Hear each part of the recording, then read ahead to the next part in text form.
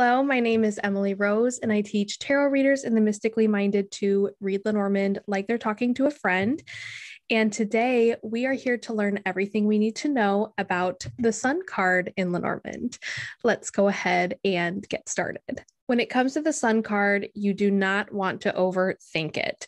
The sun is simply a positive card in Lenormand that tends to bring warmth and light, success, happiness to a situation for most contexts, the sun is going to bring some type of positivity to your reading.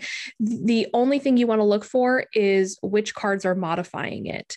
If you find that you have a the coffin or the scythe modifying it, it could signify that um, energy is is going away, happiness is is being cut off, something like that.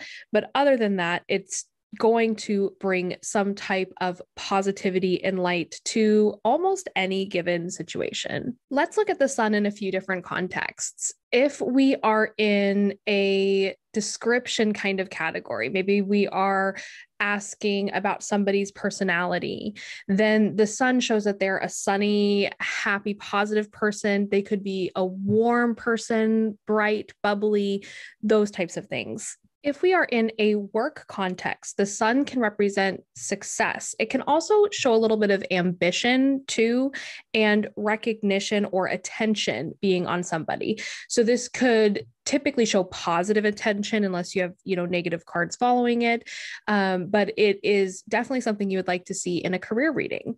This is also something that would be positive to see in a love context. It just denotes happiness radiance, warmth, things like that. So, this is going to be a pretty simple card to read in most contexts.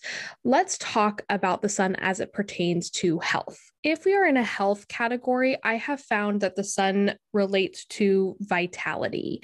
So, this could be referencing energy, your energy level. Um, it it's also something that you typically like to see following negative cards. So, for instance, if you had like the coffin and then the sun, this could show, you know, vitality after illness or something like that. So, you you do typically want to see the sun come up in health related readings if you're looking for signs of improvement. If you would like to learn even more about the Sun card, I have linked my Sun card page down below, which has sample spreads and example combinations that you can look at. And if you would like to go even deeper with Lenormand, I do offer a free three lesson mini course, which you can take at emilyrosedivination.com slash mini course. Thanks so much for joining me, and I can't wait to see you next time.